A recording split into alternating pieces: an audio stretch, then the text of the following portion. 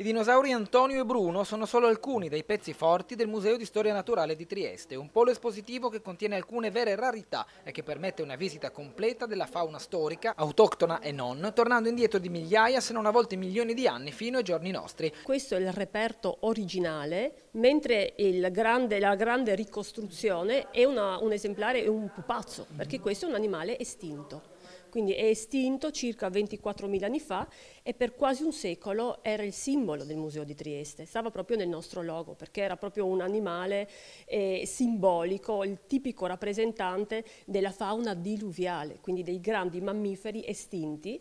E, e lui eh, viveva sul Carso, è stato trovato in migliaia di reperti, mm. in alcune grotte, ma in particolare nella caverna Pocalla di Duino Aurisina. A catturare l'attenzione dei cittadini e dei molti turisti che fanno tappa al museo c'è la sezione dei dinosauri. I reperti di Antonio e Bruno sono degli elementi unici nel panorama mondiale per il loro stato di conservazione. Questo è il reperto originale perché c'è il calco anche al sito del villaggio del pescatore e quindi è un reperto unico, un genere nuovo per la scienza, una specie nuova e uno dei, dei, dinosauri più completi e meglio conservati al mondo, per cui veramente ha il carattere dell'eccezionalità. Adesso vi presentiamo Bruno, questo è un esemplare unico al mondo perché? Il dinosauro inizia con il muso anteriormente, quindi uno arriva, lo vede davanti e vede il muso, la, la cassa toracica, il bacino e la coda, però poi deve seguire la coda segue la coda, segue la coda, la coda a un certo punto sparisce, scompare e si ritrova dall'altro lato. Quindi c'è una piega di roccia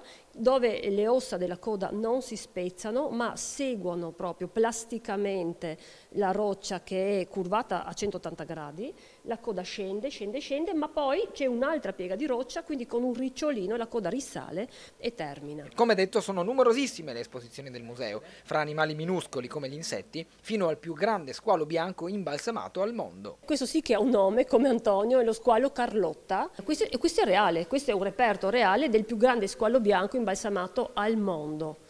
E quindi qualcosa veramente di eccezionale ed è stato pescato nel Quarnaro, per cui in Alto Adriatico, perché viaggiavano squali così eh, fino alla prima metà del Novecento, quando, quando c'erano ancora i tonni, perché loro inseguivano i banchi di tonni che salivano l'Adriatico.